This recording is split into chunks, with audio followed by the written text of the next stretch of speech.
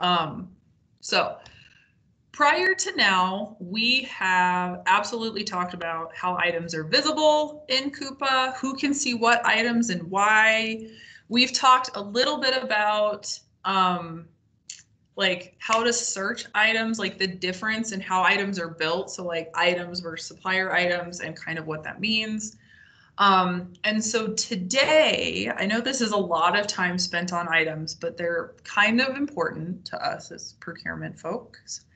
So I, I would like to kind of go over the um, item request form and like how that relates to the items in Coupa, right? So because it seems kind of silly that there's there's a lot of information that we're requesting in the item request form, um, but it's all necessary and it all dictates some action about that item, right? And then I really want to focus today on so the new item request form that has been uploaded does some really cool things for us, right? So it it basically allows us to pick the type of item we want created, and then it blocks out sections of the item request form that are not necessary based on that item qualification and then it highlights areas that are required and and things like that. So i kind of want to go over that and like how we can all save ourselves some times and just the approach of item creation in coupa. So i don't know if you guys know this. I'm going to share my screen so we can kind of all see. And i don't know if you guys know this but we have about 90,000 items in coupa right now. So like let that sink in. 90,000 items that is like a lot, you guys. Like a lot. So, one of the things to kind of keep in mind as you are requesting items to be added to catalogs, finding items that you want to use on property, is that our first step at a property level is kind of twofold, right? There's like this procurement step of like, why was the item selected? Was it bid out? Does it need to be bid out? How often are we going to buy this item? You know, over the course of the year, is this an item we're going to buy every week and spend ten thousand dollars on? And we should probably see if it, you know, makes sense for us to buy it. Is there a contracted item? So there's there's procurement questions about the item, but kind of the second piece of that is actually once the decision is confirmed that this is the item we should be buying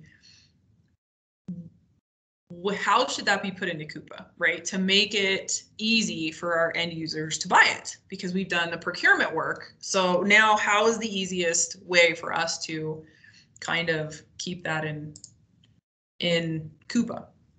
So one of the things we can kind of ask ourselves is with 90,000 items, I feel like a lot of what we're trying to buy probably already exists in the system somewhere. And when you're looking at the item request form, notice there's now this super cool, this is like a, an, I can't believe I did that. That's the old form, you guys.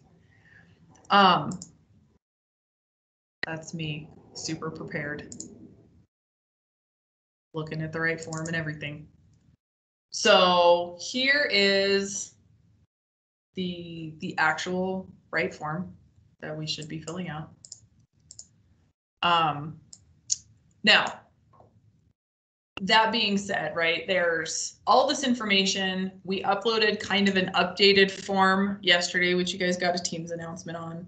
So it has some additional changes and instructions a little bit. We changed a couple things down here to make it a little bit easier to understand what we're asking for.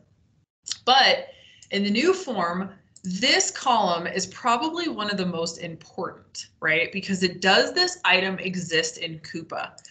And if we say yes, notice how many things are blocked out or no longer necessary, right? So literally, if the item already exists in Coupa, we have to fill out five cells. Guys, five cells. So that is super fast, right? Just in terms of like how quickly we can get a form in and get it and get it submitted for approval. So I really want to focus on this today and kind of the value and how we search first. So if I want to add Red Bull to my property, yellow, yellow Red Bull, okay? how do I find that? So my supplier number is 46644. So I could go to the supplier items detail here. And the first step might be, right? Oh, I take it back. We have 162,000 item supplier items. Um, so I can type in nine or 64494, my supplier number, whatever I said it was. And it looks like there's another supplier that uses that number in some some rhyme or reason with this vodka.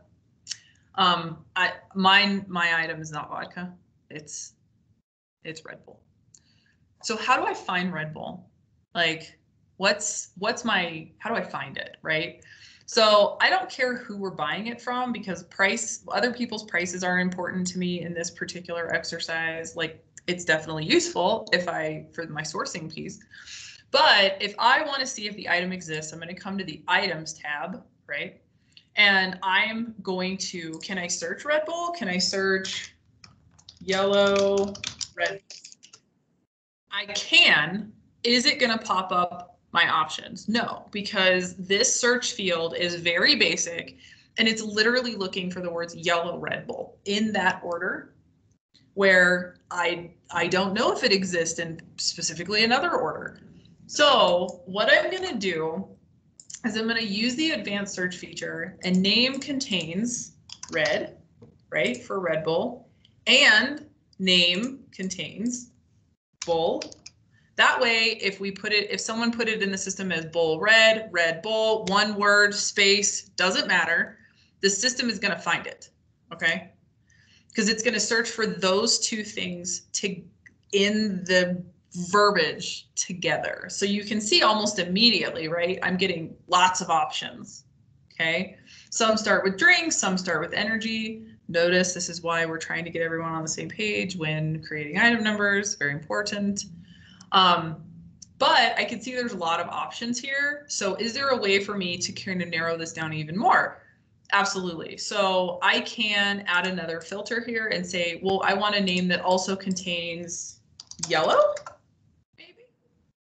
Oh, here we go. Here's some yellow. But mine, is my Red Bull tropical? Is it one of, is there a size? Like which size is my Red Bull? Um, yellow Red Bull is also called Special Edition Red Bull. Um, maybe not.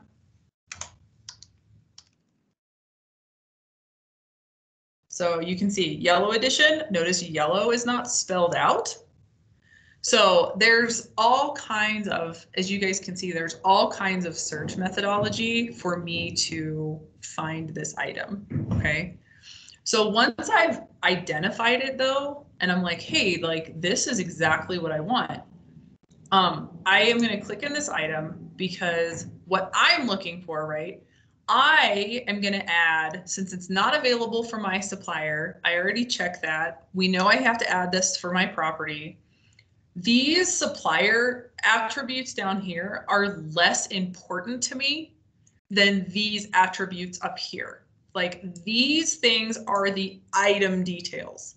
These are specific to this supplier, the property who's using this supplier. So these things don't mean near as much to me as these things. So this is why we're looking at the item level information as opposed to supplier items, right? Because I'm not trying to look to see well, does the part number for the supplier in Louisiana match my supplier part number in Black Hawk? For probably not, because we're using two different distribution methods. So when I look at this information up here, does my item match this? It's a really simple question, right? Like, does it match this? Yeah. Am I buying it by a case? Yeah. Is it one pack size and there's 24 each and they're 8.4 ounces, which also is stated up here. Yeah, great. This is my item. It exists. So when I go to fill out my item request form, right, I don't necessarily have to retype something here. I basically could just come here, copy this, paste it, because I want to use the same description, right? it's telling me like I'm not putting this in inventory. It is food. It's not catch weight. Um, so it's not inventory, non-catch weight. It exists in Coupa. What item number? So if I'm picking the item number, it's this in the URL. It's not any of this other stuff down here. It's this. So in this, I'm telling ePro, this is the item that I want my supplier info added to. So I'm going to copy that, go back to my form, right? And then I basically go to the three cells, the five cells down here, and I say manufacturer. Yes, I'm absolutely confirming that it's made by Red Bull. Here's the manufacturer product code.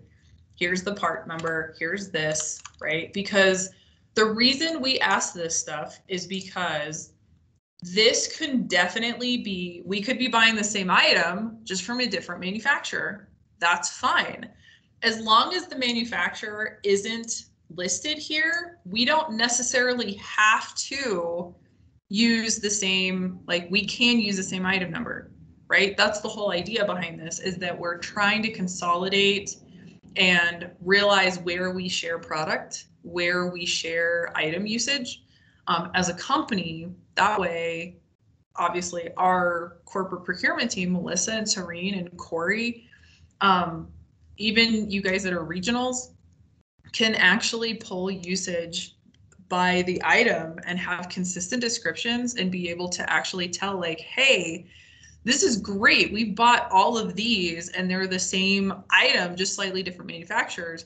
That's something I can probably source for the company and potentially get us a better deal. We might have to switch manufacturers at some properties, but that's not necessarily a bad thing, right? That's that's part of that that sourcing consolidation effort that we're all a very big part of right now because we're in Coupa. Um, so that is kind of how the initial approach works in terms of like, hey, let's really try to find if my item already exists in Coupa. Not necessarily does my Sysco SUPC exist in Coupa, right? But the item itself, does it exist in Coupa? If it doesn't, then that's where this item is going to be a no and literally opens up a lot of things for us to fill out in the item request form, but they're all necessary. So when I'm in here and I'm creating an item from scratch, right? Um, I have to have a name for the item. And like we talked about, to create consistency so we all know what to search for, so we all kind of have an idea of what we name things, so it makes sense when we're running reports or sending POs to suppliers. Using the name, same naming convention is really important. So if you're ever questioning, like, what is the naming convention I should use here, in the data dictionary, it does give us not only a description really specifically of what it should look like, but also our sample value here. So it kind of gives us an example of what it should look like. I find that this is useful not only when I'm filling out item requests, but also when I'm processing free texts. Because obviously, like free texts are at the time very, should be one off, should be very specific. But over time, if you're formatting your descriptions in this method, Coupa allows you to run reports on everything purchased. So if it's being formatted the same way, identifying things that are being purchased repeatedly that can be added to catalogs um, is a lot easier if the description is formatted the same way. So I use this for a lot more than just item request forms, but um, so that's kind of an important piece there. Um, when you are filling some of these out, if you have questions, obviously the data dictionary, we put little descriptions of kind of everything in here. Um, obviously willing to help you guys out if you have additional questions, but I kind of want to show you in terms of item creation, what this is what e-procurement does sometimes in a very more scientific Excel upload, download format. This is the way I know, and I think this is a little easier to understand. So Name, description. So this is the supplementary description, just any additional descriptional items. This is optional. So if you don't have anything on your item request form, leave it blank and we just put a period here just to make sure that this the system knows we put something there. It's not necessary. We don't copy this description into here, right? It's it's not needed. Um, the commodity is really the big thing that we select at a header level when we're creating the item. Um, manufacturer name and manufacturer part number a lot of time don't get selected at the item level, they get selected at the supplier item level. So when we're adding your supplier information, linking it to your property contracts, that's usually when it happens down here at the supplier level, not at the header level. So that makes it easier for us to find our item description and other other quantifiers in the system. So we're not matching it at a manufacturer level necessarily. Unit of measure, this is how we buy it, whether it's catch weight or not. This is some of those optional things in the form, whether you want to add a questionnaire, um, things like that. Then we get into pack size. So this helps us kind of determine what the pack size is. Um, some of those are optional, but this will really help break it down. Um, we put items. This is where we can attach pictures or URLs. So in the item request form, there is the image URL that's optional. I will tell you, if you didn't watch my first video on item creation form, I love this cell. It's amazing. I love putting pictures in Coupa only because our end users think they're really awesome.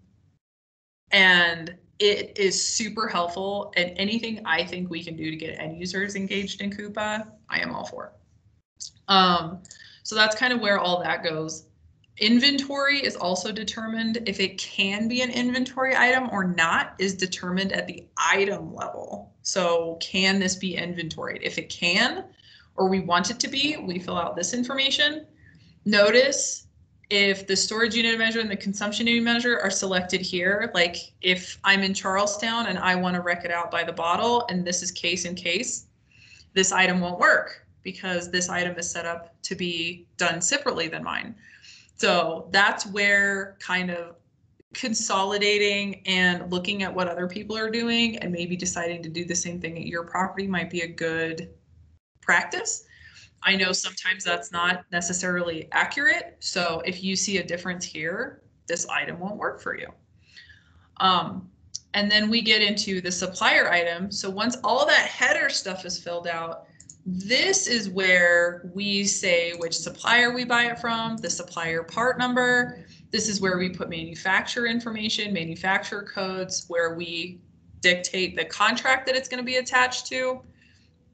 The price, this date here, this is what flags it to be put into the bid tool.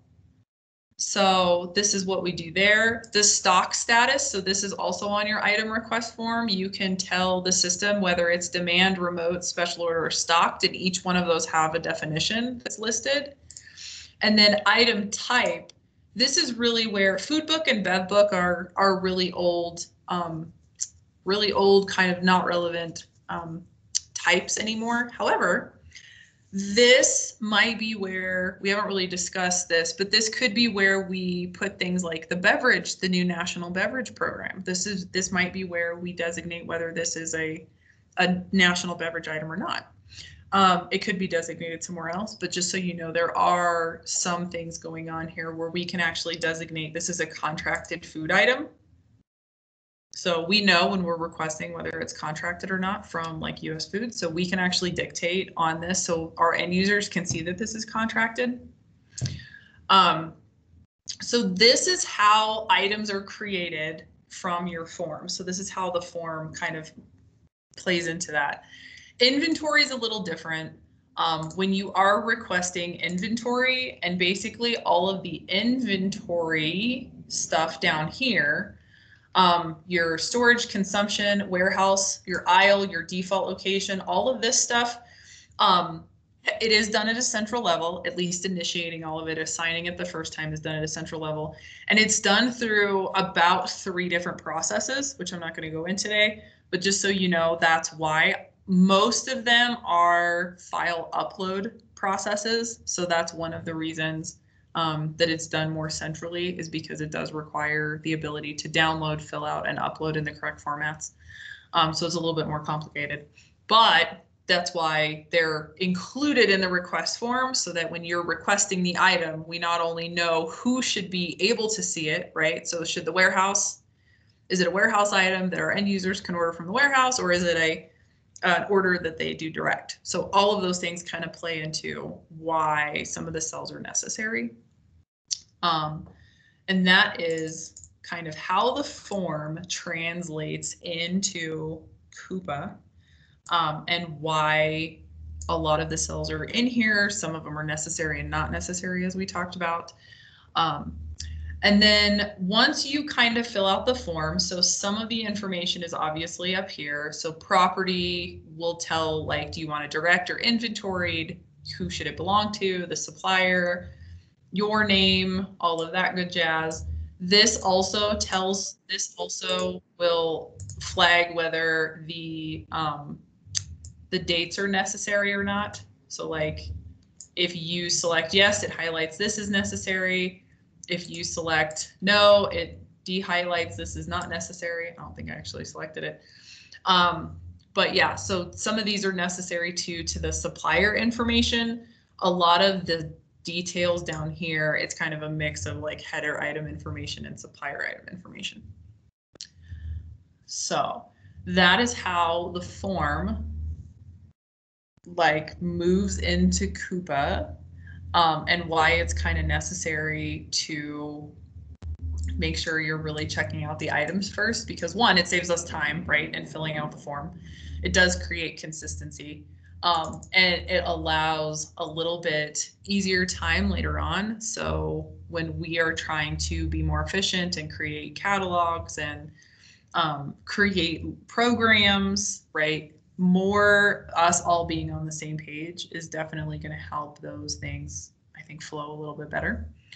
Uh, the last step, once you've run validation and you send this email, I just want to go over real fast. The email auto populates all three commodity managers. Please don't send it to all three um, because they don't all need to see it. Um, you should know based on your item who oversees that commodity or program. Um, Corey does everything edible or drinkable. So if you can eat it or drink it, um, that's Corey. That's not Corey if you put edible stuff in it. So just, you know. Um, and then Melissa and Serene kind of split all the other categories. Um, if you're not sure, ask. It's always a good practice. Um, but that's just the last little thing here. And then you take your completed form and attach it and redo your property ID and then you're good to go and you send this in. Um, once it gets approved, it gets sent to ePro and they add it to the system and you will then have an item you can share with your end user and say, hey, this is now cataloged, you know, please stop free texting it. That'd be great. Um, and that's kind of the end of the process. So hopefully this has helped kind of give some why behind some of these columns um, and uh, how they look in Coupa and how to search items in Coupa so that we can kind of all be a little bit more on the same page.